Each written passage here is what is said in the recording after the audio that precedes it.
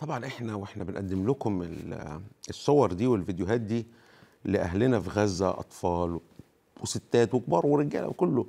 الواحد بيجيله إحساس بإنه المية اللي بيشربها آه، فيها غصة كده في كأن حد رش شوية مرارة على حياتنا العادية. تيجي تلبس هدومك تفتكر تقول "آه، الناس دي ما بتلبسش. تيجي راح تعمل أي حاجة من الحياة الطبيعية راح مثلا تنقي طماطم مثلا تفتكر تقول ما هو الناس دي أصلا عايشين إزاي؟ تيجي مثلا راح الصيدلية وأنت بتجيب دواء تقعد تفكر طب هو الناس اللي في غزة دول عندهم بقيت بتحس بإنه سبحان الله يعني حياتنا هي هي هي معطياتها المادية هي هي بس إحساسنا بيها اختلف لإنه إحنا بقينا شايفين قدامنا كده يعني في اللاوعي بتاعنا أو حتى في الوعي إن أهلنا في غزة بيعانوا وإحنا عندنا إحساس بالمرارة إحساس بالعجز إحساس بقلة الحيلة مش عارفين نعمل إيه وبالتالي بتلاقي نفسك متعتك تحولت لألم ووجع ضمير. وبالتالي أنا مش مستغرب إن الناس عمالة تعمل sharing للصور اللي حضراتكم شفتوها وغيرها. تخش على انستجرام بتاع مثلا واحد صاحبك أو زميلة ليك أو حاجة هي حياتها كلها مثلا بتاعت فساتين وبتلبس ومش وفجأة تبص تلاقي كل ال timeline بتاعها أو ال- البتاع ده بتاع الانستجرام ده كل الستوريز بتاعتها كلها صور زي كده.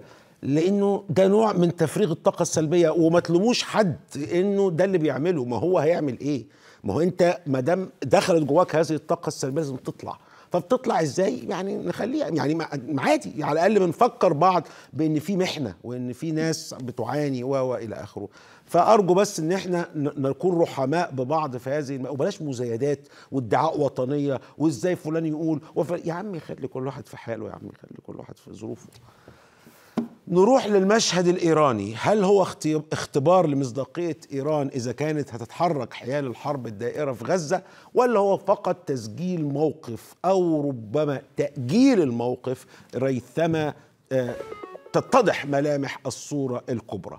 طهران وعلى لسان وزير خارجيتها تؤكد مجددا وتهدد بأنها إذا استمرت الحرب بين إسرائيل وحماس فإن الوضع لن يبقى على ما هو عليه. على حد قول الوزير الإيراني حسين أمير عبد اللهيان المقاومة ستتخذ إجراء مفاجئا آخر. إجراء مفاجئ طبعا ربما سيتلاقى في مضمونه مع ما سيقوله لنا الأمين العام لحزب الله في لبنان السيد حسن نصر الله في خطابه غدا الجمعة الساعة 3 بتوقيت بيروت الساعة 5 بتوقيت دبي. بينتظر طبعا ناس كتير من المؤيدين ومن المعارضين على حد سواء. نصر الله الذي لم يخرج ليتحدث علانية منذ بدء الحرب في 7 أكتوبر اكتفى بنشر آه، يعني ظهور دعائي تشويقي كده زي بتوع نجوم السينما أثار الاستغراب والانتقاد بين اللبنانيين والعرب حتى. من بيروت معي الدكتور فارس سعيد أو سعيد هو يصلح لي الاسم السياسي اللبناني والبرلماني السابق. سيد فارس أهلا بحضرتك ومعلش سامحني لو كنت قريت ال family name غلط يعني. مساء الخير أنا اسمي فارس سعيد. سعيد. أوكي سيد فارس خلينا نبدأ بالسؤال الكبير وبعدين نرجع لحزب الله كأنتم كلبنانيين تشاهدون المشهد في آه، في غزة والإحساس العام بأن المنطقة كلها مهددة هل في حالة تحسب لما سيكون عليه الأمر آه، بعد خطاب السيد آه، حسن نصر الله غدا؟ نعم يعني كل لبنان كل لبنان بكل شرائحه يتابع ما سيتكلم به غدا السيد حسن نصر الله. لعدة أسباب أولا لأنه لم يتكلم منذ 7 تشرين حتى اليوم.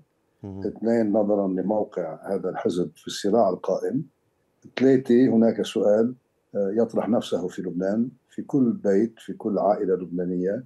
هل سينزلق لبنان باتجاه الحرب؟ هل سيقحم حزب الله لبنان في هذه الحرب؟ هل هناك إرادة إيرانية من أجل توسيع رقعة ال- ال- القتال أو الصراع؟ وهل العنوان الذي حمله إيران منذ عقود في المنطقة أي توحيد الساحات. هو عنوان تحت الاختبار اليوم وهل هذا العنوان سيكون قيد التنفيذ أو أن إيران تهول ستارة بالدم الفلسطيني في غزة وطورا بما يجري في شمال في شمال إسرائيل وجنوب لبنان من أجل تحسين ظروف مفاوضاتها مع الولايات المتحدة ومن أجل أن تنتزع لها مقعد أو كرسي على طاولة المفاوضات حول المنطقة وعلى المنطقة لأن ما يجري اليوم ربما في في حرب غزة يتجاوز حتى الشأن آه، المحلي أي الفلسطيني الإسرائيلي حتى ينفتح على آه، مشهد جديد في المنطقة هو إعادة ترتيب آه، المنطقة على قواعد جديدة على على على قواعد اشتباك جديدة نعم. وعلى خاصة توزيع نفوذ سياسي ثقافي اقتصادي مالي في المنطقة من جديد طب سيادة النائب حضرتك سياسي مرموق وبرلماني يعني لك تاريخ طويل ممكن أتجرأ وأسأل حضرتك السؤال ده هل هناك من يستطيع أن يصل لأذن السيد حسن نصر الله لإقناعه للتوسل إليه للضغط عليه من اللبنانيين؟ أرجو أو نرجو منك ألا تجر لبنان واللبنانيين إلى معركة نحن غير مستعدين لها. في حد بيوصل له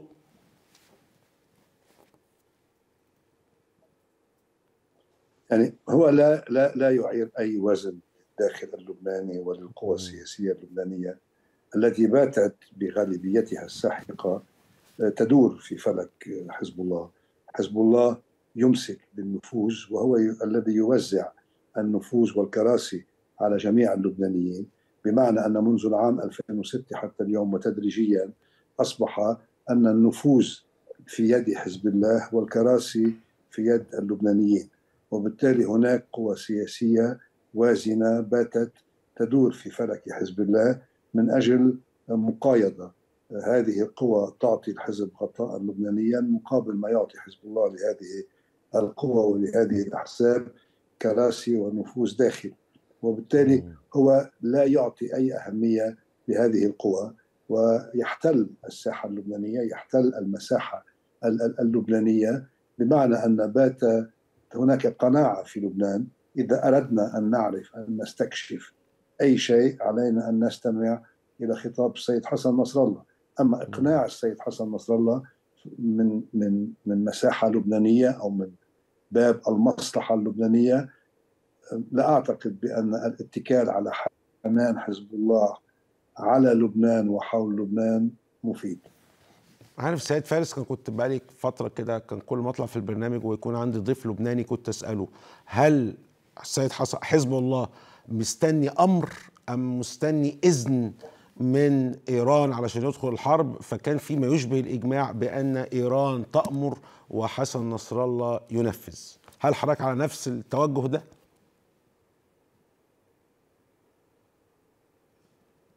نعم يعني هذا هذا ليس ليس سر هذا واقع. جمعت إيران أوراق لها في المنطقة تدريجيا في صنعاء الحوثيين يدورون في فلك إيران في العراق الحشد الشعبي. في سوريا هناك ميليشيات تابعة لإيران مباشرة على الأرض السورية ونظام بشار الأسد أيضا يدين لإيران بقائه في قصر المهاجرين قصر المهاجرين في في الشام في بيروت. آه، نفوذ حزب الله نفوذ إيران اسمه حزب الله الذي يسيطر على الحياة الوطنية اللبنانية. واليوم حتى لو هناك تمايز فعلي بين حماس وبين إيران إنما أيضا في فلسطين يمسك بطريقة ما إيران تمسك بطريقة ما جزء من القرار الفلسطيني من خلال التحالف القائم بين إيران وبين حماس. وبالتالي لا يمكن أن يستطيع حزب الله أن يتفرد بقرار لبناني صافي وأن يأخذ لبنان باتجاه الحرب إذا لم يكن هذا القرار منسقا بشكل كامل مع إيران. طيب سيد فارس أه حسن نصر الله هيقول إيه بكرة؟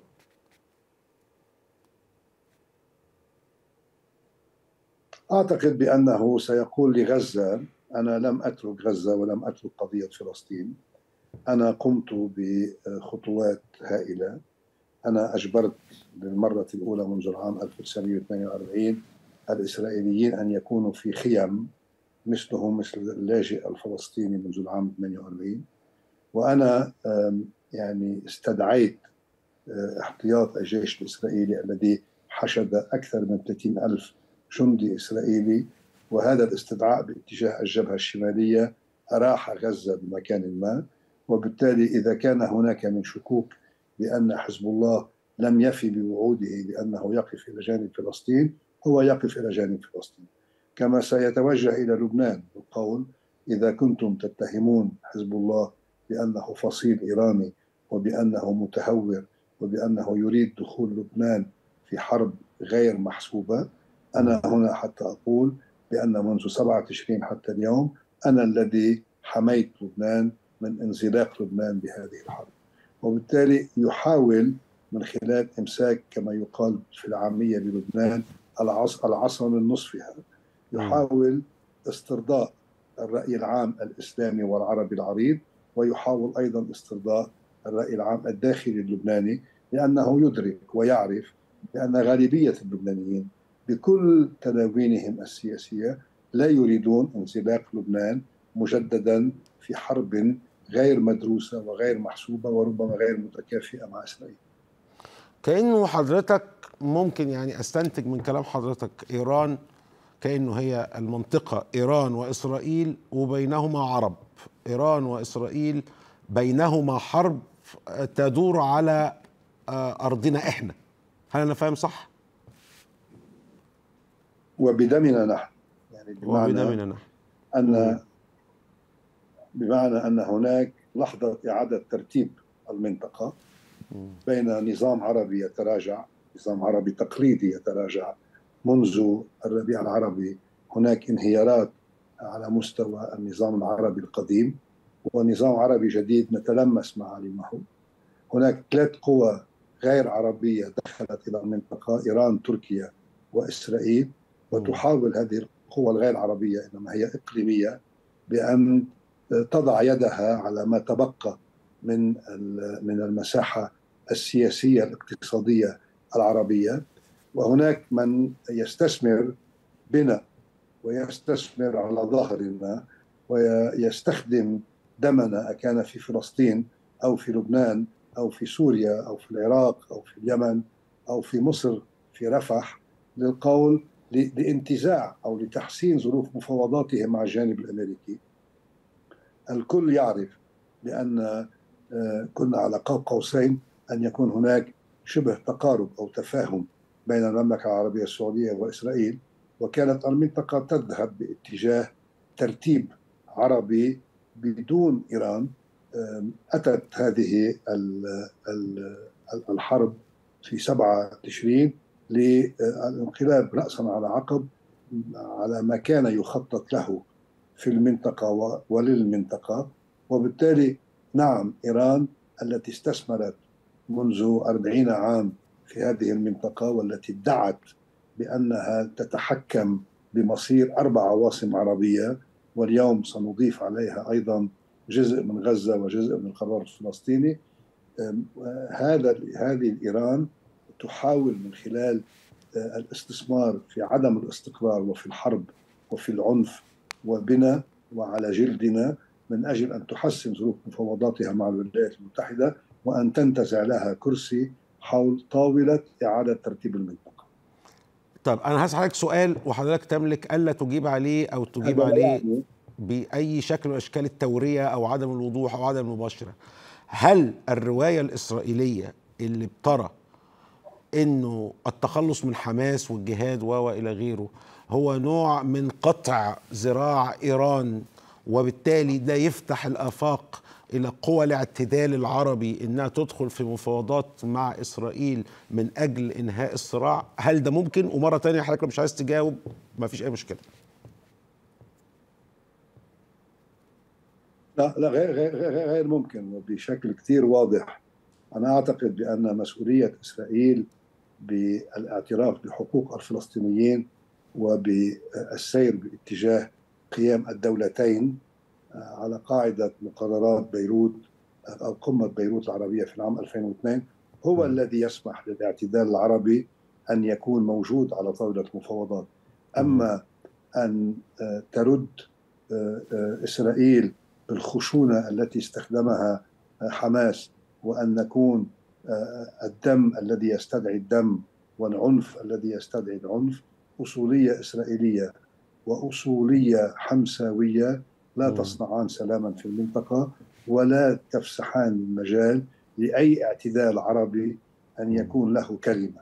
الاعتدال العربي اليوم أي المملكة مصر السلطة الفلسطينية الأردن دول الخليج. يشكل هذا هذا المربع ومعه المغرب ربما حلقة ضعيفة بالأحداث القائمة اليوم وحلقة غير مؤثرة على الأحداث.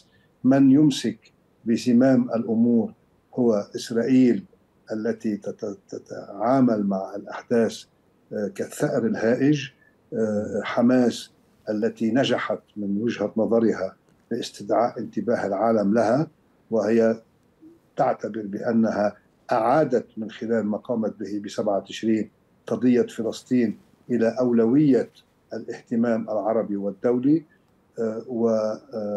وإيران التي تستثمر بالدم الفلسطيني ليس لأنها تحن على فلسطين أو تريد الخير لفلسطين والفلسطينيين أو العرب إنما من أجل تحسين ظروف مفاوضاتها على طاولة إعادة طب سيادة النائب معلش سؤال أخير.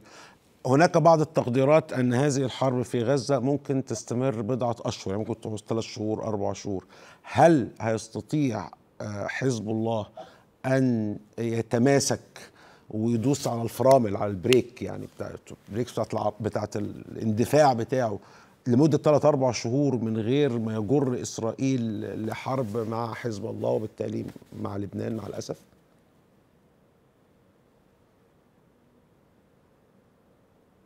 القرار ليس ميداني وليس حزب اللهوي وليس لبناني القرار إيراني فرملت إيران اندفاعاتها عندما انتشرت الأساطيل الأمريكية في البحر قالت لإيران إذا أردت أن تذهبي باتجاه توحيد الساحات أنا هنا. هذا التوازن وهذا الانتشار العسكري بالولايات المتحدة هو الذي منع إيران من دخول المعركة ومنع حزب الله بالتالي من جر لبنان إلى هذه الحرب. أما إذا إيران التي استثمرت بهذا الدم لم تحصل على ما تريده من الولايات المتحدة قد تتجه باتجاه توسيع الحرب وتوحيد الساحات كل الشكر لحضرتك سيد فارس سعيد السياسي اللبناني والبرلماني السابق سعدت بوجود حضرتك معنا.